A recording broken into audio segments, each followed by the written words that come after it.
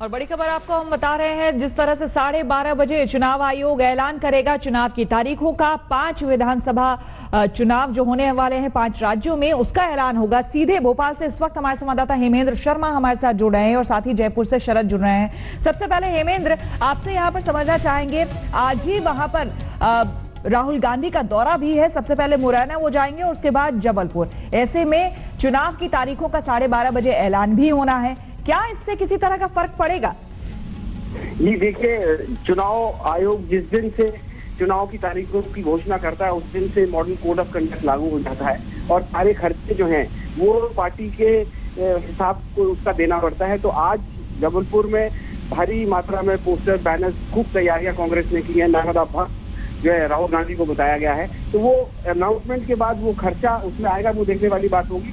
बाकी उसके बाद जो जहाँ तक चुनाव प्रचार की बात है, वो पूरे उसमें अभी भी शुरू हो गया है मध्य प्रदेश में। अमित शाह भारतीय जनता पार्टी के राष्ट्रीय अध्यक्ष भी मध्य प्रदेश में आज हैं। वो इंदौर, उज्जैन और जबलपुर में रहेंगे। और राहुल गांधी मुरैना जाएँगे, उसके बाद जबलपुर आएँगे, यहाँ पे नर्मदा घाट में पूजा अर्चना करेंगे। उसके बाद एक उनका रोड शो भी है। तो चुनाव जो है, जो आज तक जो कैंपेन चल रहा था वो और गति आज से जो है मध्य प्रदेश में पकड़ने की उम्मीद है। बिल्कुल। शरद जहाँ तक अगर हम बीजेपी की बात करें वहाँ पर खुद प्रधानमंत्री नरेंद्र मोदी आज अजमेर पहुँचे हैं और वहाँ पर आज उनका संबोधन भी है।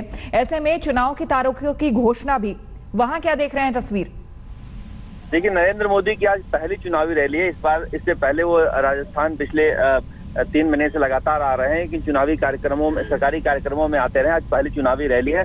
पिछली बार भी चार अक्टूबर को आचार संहिता लगी थी, चुनाव की घोषणा हुई थी। इस बार कहा जा रहा है, आज यानी कि 6 अक्टूबर को लग रही है। तो सरकार एक तरह से, पूरी तरह से मानसिक रूप से तैयार थी कि चुनाव की घोषणा कभी भी हो सकती है।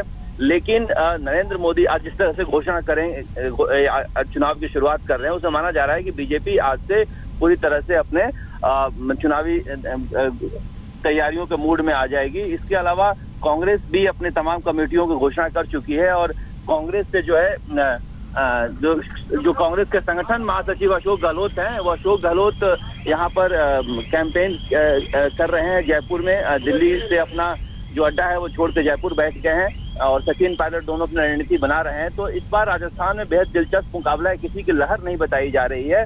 दोनों ही जीत के दावे कर रहे हैं कांग्रेस को एक उम्मीद कहीं से दिख रही है तो राजस्थान से दिख रही है। जी। बिल्कुल आप लोगों से और जानकारी लेंगे। फ़िलहाल बहुत बहुत शुक्रिया आप दोनों का। यहाँ रुकेंगे एक और छोटे से ब्रेक के लिए। बने रहे हमारे साथ देखते रहिए आज तक। लेटेस्ट खबरों के लिए यू ही देखते रहिए आज तक। और इस वीडियो के पसंद आने पर लाइक शेयर एंड सब्सक्राइब करना ना भूलें।